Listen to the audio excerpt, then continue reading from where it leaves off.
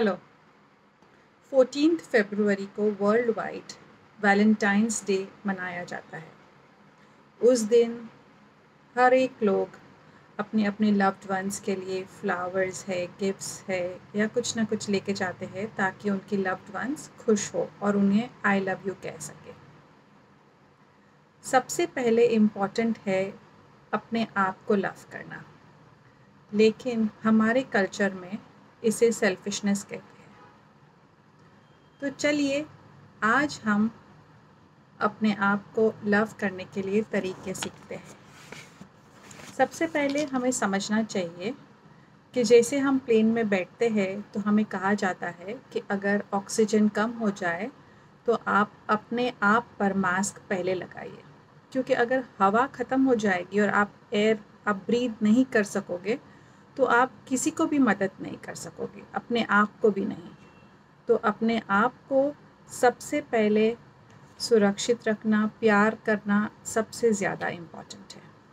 तो हम ये किस तरह से कर सकते हैं? तो मैं आज आपको थोड़े टिप्स दूँगी। नंबर वन रोज़ अपने लिए थोड़ा सा टाइम निकालिए। जो भी चीज़ें आपको जो पसंद है, वो आप कीजिए, जिससे आपको खुशी मिले।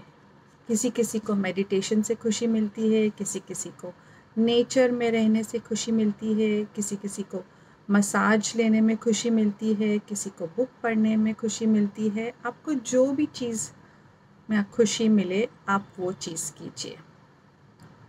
सेकेंडली अगर आपको लगता है कि आपको कोई चीज़ रोक रही है खुश होने में और आपको पता है, हमने पहले भी बात की है कि जो भी हम दिमाग में सोचते हैं, वो हमारी बॉडी में हमें फील होता है। तो मैं क्या करती हूँ, हमेशा जब भी मुझे हैवीनेस फील होता है, या बॉडी में, या माइंड में, या मेरे हार्ट में तो मैं एक पेपर लेती हूँ और उसमें लिख लेती हूँ कि आई लेट गो ऑफ़ और जो भी मेरे दिमाग में आता है, चलो।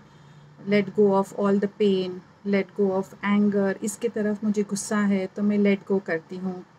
इसके, मेरी बॉडी में, पैर में पेन हो रहा है तो मैं उसे लेट गो करती हूँ।